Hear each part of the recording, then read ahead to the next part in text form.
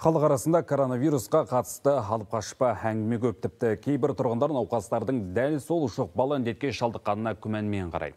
Ал осы вирусқа шалдығып емделіп шыққан медицина саласының мамандары Дәулетхан Есімов коронавирустың әсіресе жасы келген науқастарда ауыр өтетінін айтады. Алпысты алқымдаған ол қауіпті дертті жеңуде өзімнің де септігім тиді дейді. Спорты жанына серік еткен азамат тіпті ауруханада жаттығу жасауын тоқтатпапты. Вирусты жеңген тұрғымен тілшіміз Сәуле Алдамұратқызы тілдесіп келді.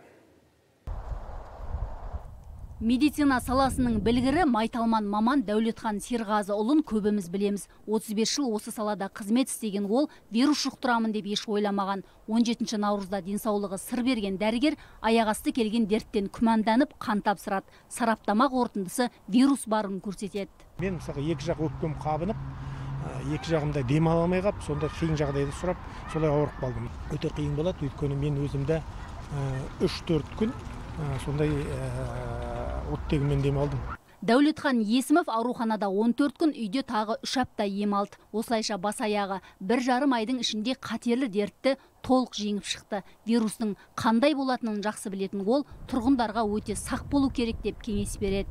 Ауырып басына тиген кезде сонда адам сонда ғана түсінетін болады. Сондықтан мен бір халыққа, жұртқа айтатыным осы байқаңдар, жаңағы қауіпсіздікті сақтаңдар. Карантин дегенді дұрыс ұғыныңыздар.